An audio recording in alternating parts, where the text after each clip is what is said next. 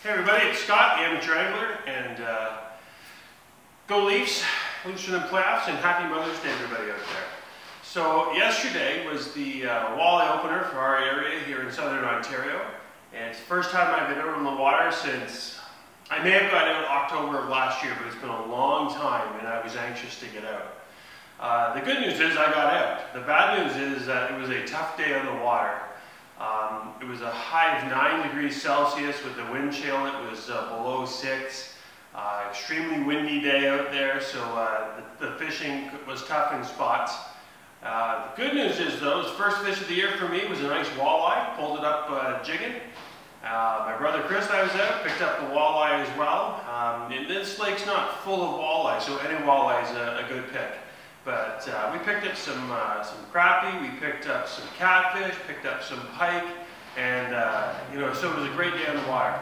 Anyways, uh, other things, of course, is you've got to get back in practice after almost six months off. So the knot tying skills got put to the test, the casting skills, uh, tried out some new lures, lost some new lures. So I've got a little video that I'll attach this at the end where you can uh, watch us poking a little bit of fun at ourselves after my brother's tying on some new knots while I, while I steer the boat.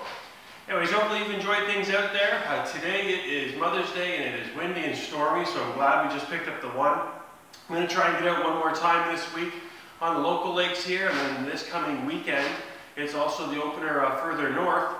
So I'm going to try some other lakes up north, and again, my uh, goal here is to try out some new tools and new skills, see what I can pick up. Anyways, the boat held up, didn't leak, uh, had some new rod holders and stuff in it, so we had a great day. Anyways, enjoyed the rest of this video. You see us actually out on the water poking a little bit of, a bit of fun at each other. Again, if you've got stories, share them with us, and uh, don't forget to check out the actual website, uh, theamateurangler.ca. Take care. All right, Chris, why don't you tell us what's going on here? well, I am tying Scott a new uni knot because Scott had a situation where he casted his Scatter Rap into a really tall tree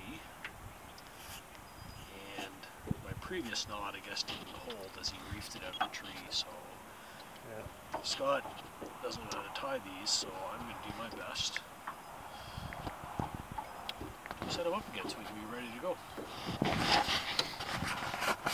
Alright, so basically what happened here is I got a new uh, I got a new uh, Shimano Curado reel, new Scatter Rap. It was the uh, Shad Rap. Sorry, it was the uh, wrap.